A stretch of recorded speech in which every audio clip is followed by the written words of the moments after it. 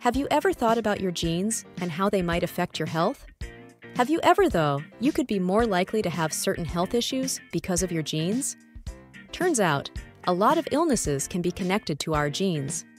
The Actionable Diseases DNA test is a powerful tool that can help those who want to discover which diseases they are most susceptible to. Wouldn't you prefer to find out early? But how does this DNA test work? The American College of Medical Genetics and Genomics is an organization composed of healthcare professionals who focus on understanding genes and how they affect health.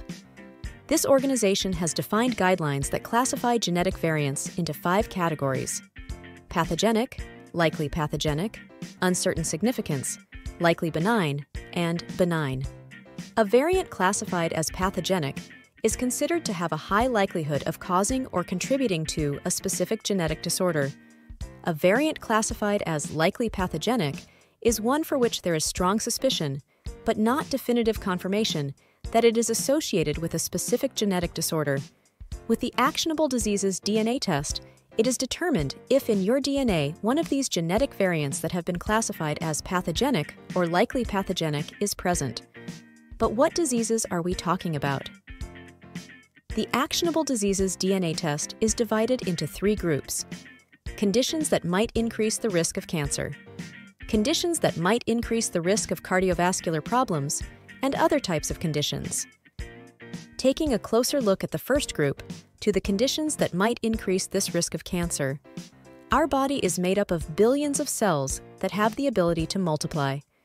However, this process of cell multiplication must be carefully regulated. Otherwise, cells can start to multiply uncontrollably which could lead to issues like tumors or cancer. So our body has mechanisms that ensure that the cell does not divide too quickly. The problem is when these mechanisms don't work. In this DNA test, we analyze the presence of variants in genes that, when mutated, disrupt these mechanisms that control cell division, and there is a greater risk of cells starting to grow uncontrollably and leading to the appearance of tumors and certain types of cancer. Some examples are retinoblastoma caused by a mutation in the RB1 gene, von Hippel-Lindau syndrome caused by mutation in the VHL gene, juvenile polyposis syndrome that can be caused by a mutation in the SMAD4 or BMPR1A genes, multiple endocrine neoplasia syndrome type 1 caused by a mutation in the MEN1 gene, and much more. Regarding conditions that might increase the risk of cardiovascular problems, we analyze the presence of variants in genes known to influence the development of arrhythmogenic right ventricular cardiomyopathy, Brugada syndrome, long QT syndrome, and Loeys-Dietz syndrome. These are different types of heart-related issues. The consequences of these cardiovascular diseases can range from irregular heartbeats to life-threatening events like sudden cardiac arrest. If you know you have an increased risk due to genetic factors, it allows for early detection and proactive management.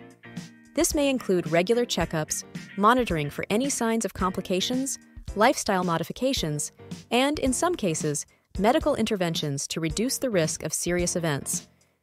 In addition to cardiovascular and cancer related diseases, in this DNA test, you can also find out if you have an increased risk of developing other diseases, such as malignant hyperthermia which is a rare but potentially life threatening reaction to certain medications used during anesthesia.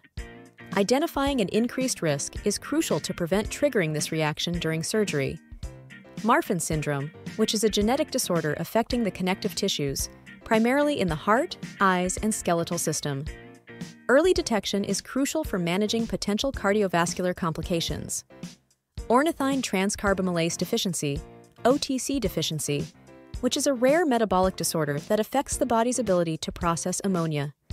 Early identification is essential to prevent toxic ammonia buildup. Fabry disease, which is an inherited disorder that affects various organs, including the kidneys and heart. Early diagnosis is crucial for managing complications and improving quality of life. And more. In summary, the Actionable Diseases DNA test offers the possibility of knowing in advance whether you are at an increased risk for multiple diseases, allowing you to take proactive steps towards prevention and early intervention.